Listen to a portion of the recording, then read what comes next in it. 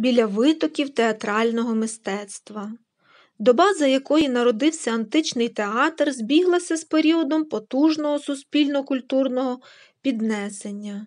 Нова Греція, здобувши власну державність, перемагала старий деспотичний схід і впевнено опановувала демократичні принципи правління.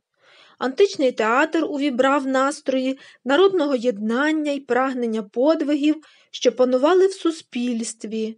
Написані монументально піднесеним стилем, драматичні твори стали величним пам'ятником тій героїчній добі. Давньогрецький театр бере початок від народних святкувань на честь бога Діоніса. Спочатку Діоніса шанували як божество весни, сонця і плодоносної землі, життєдайних сил природи. Згодом, коли греки почали займатися виноградарством, він став богом виноробства, пізніше богом поезії і театру. Восени після збору врожаю і навесні, коли розквітала природа і відкривали бочки з молодим вином, по всій Греції влаштовували пишні свята. То були яскраві велелюдні дійства, що відображали міфи про смерть і відродження Діоніса. З урочистої частини свята народилася трагедія, шосте століття до нашої ери, а з веселої, жартівливої комедія, п'яте століття до нашої ери. Літературознавча довідка. Трагедія драматичний твір, який ґрунтується на гострому конфлікті особистості і суспільством, оточенням і найчастіше закінчується загибелю героя. Комедія драматичний твір, що має на меті висміяти душевні вади і вчинки героїв, ситуації, у які вони потрапляють, негативні явища суспільного життя тощо. Коментар філолога. Самі слова трагедія і комедія вказують на витоки давньогрецької драми. Так, слово трагедія походить від грецьких слів трагос, цап і оде пісня, буквально пісня цапів. Пояснюється це тим, що діонісівські обряди, які відображали страждання й смерть Бога, супроводжувалися дифірамбами, сумними піснями, що славили його подвиги й страждання. А співали їх учасники, одягнені в костюми сатирів, істот із цапиними ногами. Слово комедія також складається з двох слів комос, весела хода і оде. Зауважимо, що від початку комосом називали веселу процесію ряджених на честь відродження Бога, якою завершували з Діонісії. Її учасники співали, жартували і глузували одне з одного. Арістотель зазначив, трагедія це відтворення витонченою мовою різної в різних частинах трагедії, серйозної і закінченої дії, що має певний обсяг. Відтворення не розповіддю, а дією, яка, викликаючи жаль і страх, спричинює катарсис. Трагедія змальовує не самих людей, а їхні дії та життєві перипетії, щастя і нещастя. А щастя і нещастя героїв втілюється в дії, і метою трагедії є зобразити дію, а не властивості людини. Люди за своїм характером мають різні властивості, а відповідно до своїх дій стають щасливими або нещасливими. Отже, вони діють не для того, щоб виявити свої характери, а вони виявляють свої характери внаслідок своїх дій. Становлення трагедії чітко простежується у творчості трьох давньогрецьких драматургів, яких визнано засновниками цього жанру Есхіла, Софокла і Еврипіда. У перших театральних виставах діяв лише один актор, а його партнером був хор або корифей, очільник хору. Есхіл увів у трагедію другого актора, збільшив ролі головних персонажів. Софокл значно розширив діалогічні частини й увів третього актора, що дало можливість загострити дію. Героєві протистояв другорядний персонаж, який намагався завадити йому виконати обов'язок.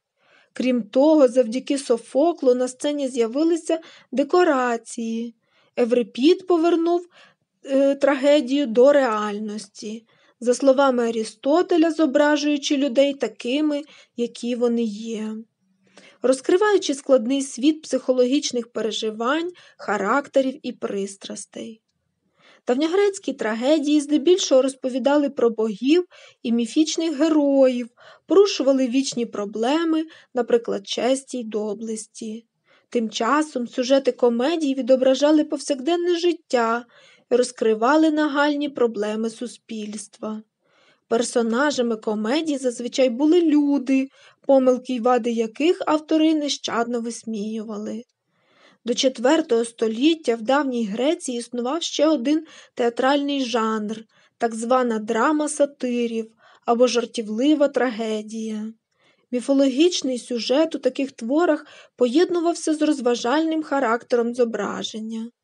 Актори драми сатирів були одягнені в цяпині шкури. Від початку свого існування театр посідав важливе місце в громадському житті греків, об'єднував різні верстви населення, міста й села, поширюючи певні релігійні та соціально-етичні поняття. Особливо його значення зросло в V столітті до нашої ери, у період розквіду полісної демократії. Творчість видатних драматургів Есхіла, Софокла, Еврипіда, Арістофана відображала найважливіші явища суспільного, політичного і духовного життя. Загальнонародний характер давньогрецького театру визначив, зокрема, особливості облаштування будівлі й організації вистав. Коментар Архіваріуса за виглядом і конструкцією античний театр суттєво відрізнявся від подібних споруд нашого часу. Найдавнішим у світі вважається театр Діоніса, зведений в Афінах на південно-східному схилі Акрополя. Саме він став зразком, за яким надалі будували і облаштовували театри. Будівля давньогрецького театру поділялася на три основні частини театрон, оркестру і скену. Театроном грецьке місце для видовищ називали місця для глядачів, споруджені на схилах пагорбів просто неба. Вони розташовувалися рядами у вигляді півкола і були розраховані на тисячі відвідувачів, наприклад, театр Діоніса вміщував до 17 тисяч осіб. Проходи між лавами поділяли театрон на сектори, на жетонах зі свинцю або опаленої глини, що правили за вхідні квитки, літерою позначався певний сектор, де можна було обрати будь-яке місце. Саме від слова театрон походить сучасне слово театр. Оркестра грецькою місце для танцю, круглий або овальний майданчик, на якому виступали актори і хор. Потрапити на оркестру можна було через бічний прохід, парот. У центрі оркестри знаходився вівтар для жертвопринесень Діонісу. Скена грецькою намет, приміщення для переодягання акторів і зберігання костюмів. Перед скеною зводили колонаду або портик, проскеній, що правив за декорацію. Портик розміщена перед входом у будинок відкрита галерея, утворена колонами, що підтримують перекриття. Постійної завіси в давньогрецькому театрі не було, лише зрідка в деяких п'єсах певні частини проскенія тимчасово е, завішували. Традиційно поза скеною можна було бачити пишний пейзаж, що був невід'ємною частиною давньогрецького театру. За конструкцією давньогрецькі театри нагадували, величезну чашу. Ця особливість забезпечувала бездоганну акустику, чутність.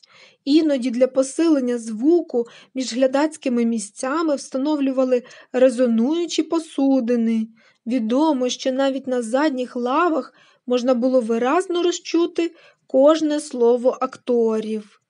Найбільший у світі античний театр, який зберігся до наших днів, розташований у місті Епідаврі. Він був побудований у IV столітті до нашої ери. Спочатку мав 34 ряди кам'яних лав для глядачів. Згодом до них додали ще 21 ряд. Руйнівний плин часу не заподіяв величній споруді значної шкоди. Тож нині на його сцену щороку на його сцені щороку влаштовують театральні фестивалі. Для давніх греків театральні дійства були важливою подією. У дні, коли вони відбувалися, усі справи в місті призупиняли. Театр відвідували всі, навіть в'язні, яких тимчасово випускали з тюрем та домашні раби. А за часів правління Перикла в Афінах ця розвага була обов'язковою для кожного громадянина, тому незаможним держава виділяла кошти. Найбагатші громадяни Афін, хореги, повинні були утримувати хори й акторів, фінансувати підготовку п'єс до постановки. Збираючись до театру, городяни одягали святкове вбрання і вінки з плюща. Місця намагалися зайняти ще вдосвіта, і з собою приносили їжу й питво, адже дійство, що складалося із чотирьох п'єс у переміші з танцями та декламацією, тривало цілий день. У давній Греції театральні вистави відбувалися під час діонісійських свят у формі змагання між драматургами. У них брали участь три трагічних і три комічних проекти. Кожен з трагіків виступав з театрологією, до якої входили три трагедії, пов'язані спільним сюжетом, і одна драма сатирів. Змагання тривало три дні, зранку показували три трагедії і драму сатирів, а ввечері одну з комедій. Щоб узяти участь у такому заході, драматург мусив не лише написати твір, а здійснити його постановку, підготувати декорації та костюми.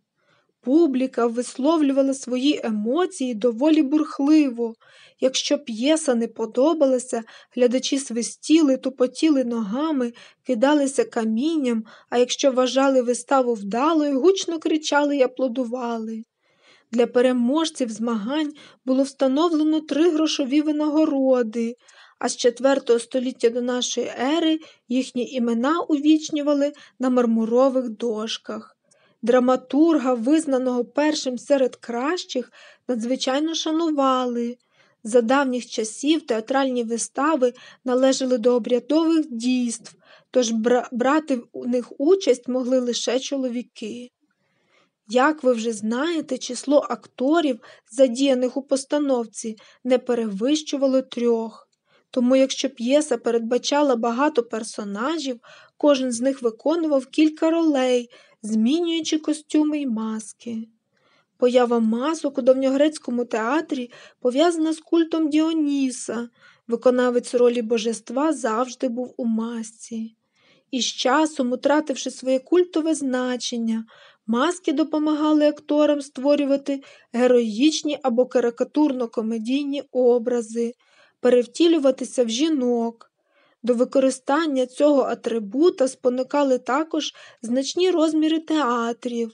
Глядачам важко було здалеку роздивитися риси обличчя акторів, тому душевний стан персонажів, радість, горе, біль, страх тощо зображували на великих розфарбованих масках з полотна, глини чи дерева. Крім того, великий рот маски у вигляді рупора посилював голос актора. Велике значення мали також крій і колір костюмів. Скажімо, якщо на сцені з'являвся актор у пурпуровому плащі зі скіпетром у руці, глядачі відразу впізнавали царя.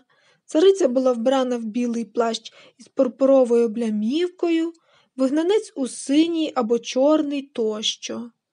Найпростіше було впізнати богів і героїв.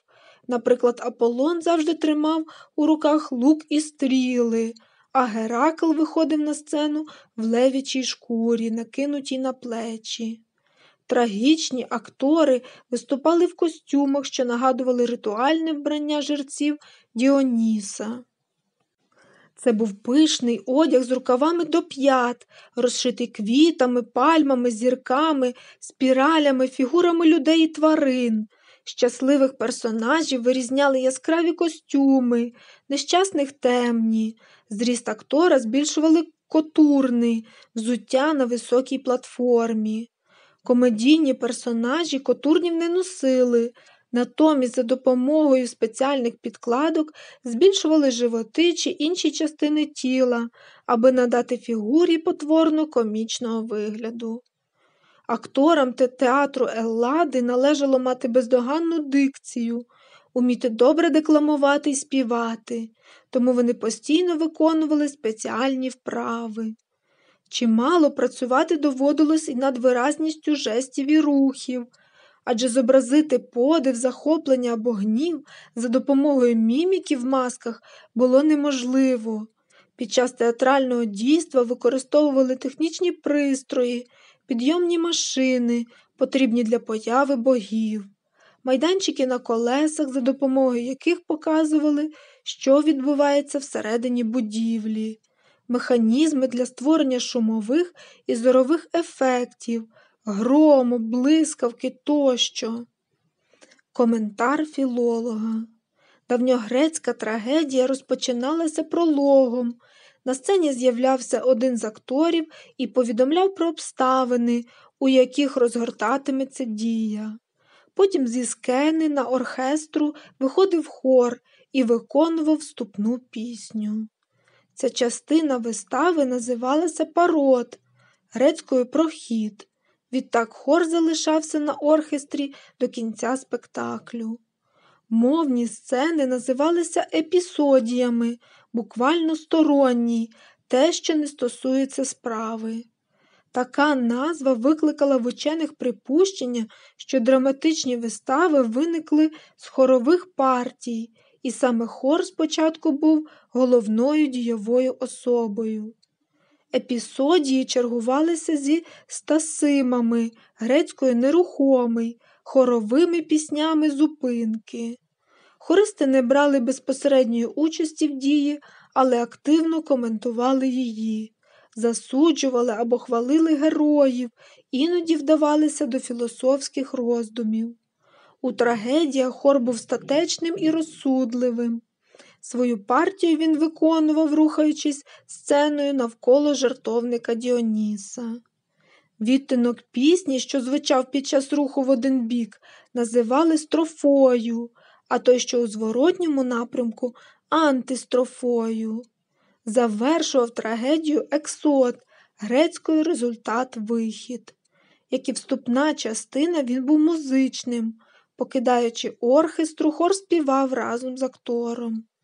Відомий філолог Тахо Годі висунула цікаву гіпотезу. На її думку, давні греки уявляли життя у вигляді театральної сцени на якій люди, ніби актори, виконують певні ролі. Вони приходять невідомо звідки йдуть у невідоме, у космос, де розчиняються, як краплі в морі. Сам космос складає драми і комедії, які розігрує людство.